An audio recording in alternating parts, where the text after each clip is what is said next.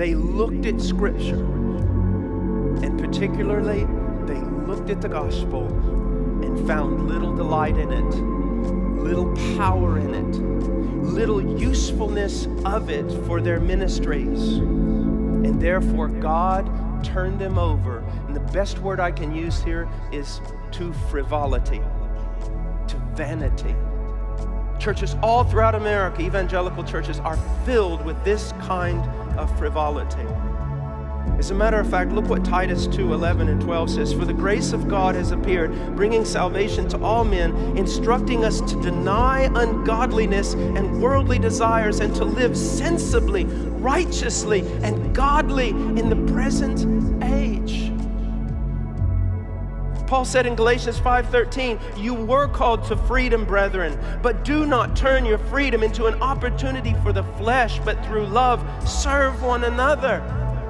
Blessed is the man who meditates upon the law of God. Every time it seems I talk about commands or I talk about my delight in the law of God, people, I mean, people in the church will say to me things like, well, you know, the law is just oppressive. And this is what I always ask them just which law is oppressing you?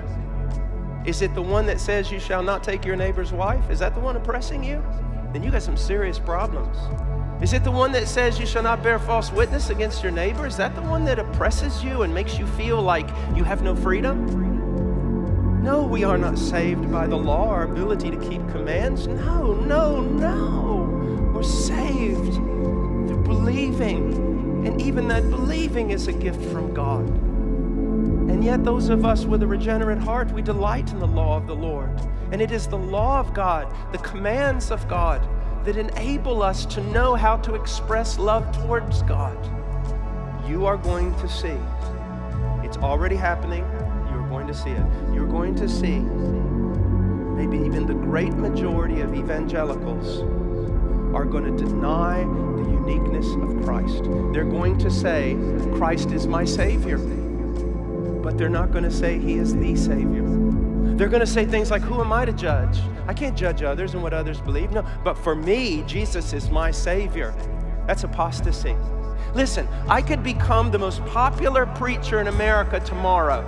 I could be on every liberal talk show, news program, and everything. All I have to do is change the definite article to an indefinite article. I have to stop saying Jesus is the, the Savior and start saying He is a Savior, and everyone will applaud me. You keep that boat in the right direction.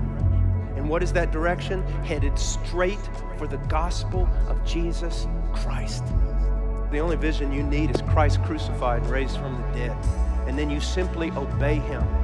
You obey Him and allow that obedience and the grace of God to take you where Christ wants you to go. Stop building your own kingdom. Preach the gospel of Jesus Christ.